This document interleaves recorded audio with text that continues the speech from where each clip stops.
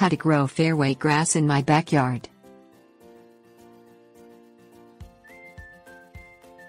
Fairway grass is golf course grass. Specifically, it is the section of the golf course between a tee and the green, where the grass is mowed short.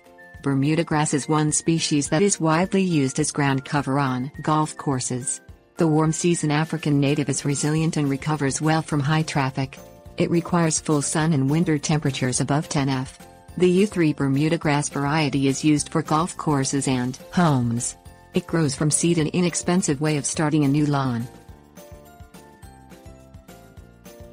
Things you will need. Hoe, Shovel, Plastic bag, Recommended soil amendments, Compost, Rototiller optional, Rake, Lawn roller, Grass seeds, seed spreader, Lawn mower, Nitrogen, Remove weeds, rocks and all debris from the site of the new lawn. Plan to seed the plot sometime between March and August if you are planting Bermuda grass. Gather soil samples from different areas where you intend to broadcast the seeds. Get about 2 cups of dirt.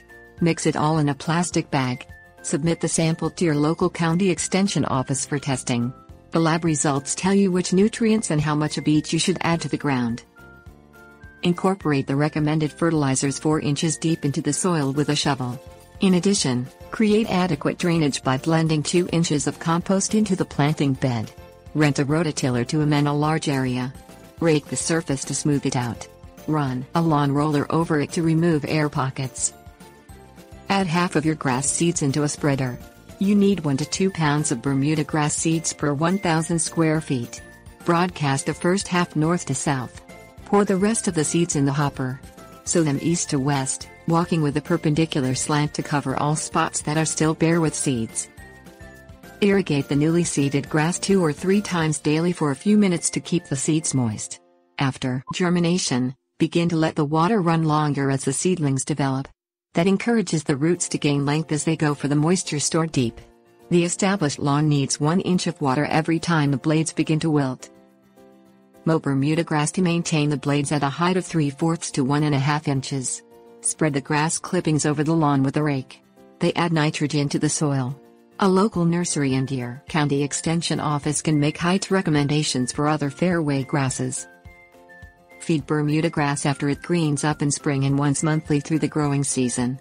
Generally, apply 1 pounds of nitrogen per 1000 square feet. Water the lawn to release the product into the soil. For your lawn's specific nutrient requirements, submit soil samples to the County Extension Office for testing every other year. Talk to your county extension office or the staff at a nursery about the feeding requirements of other types of fairway grasses.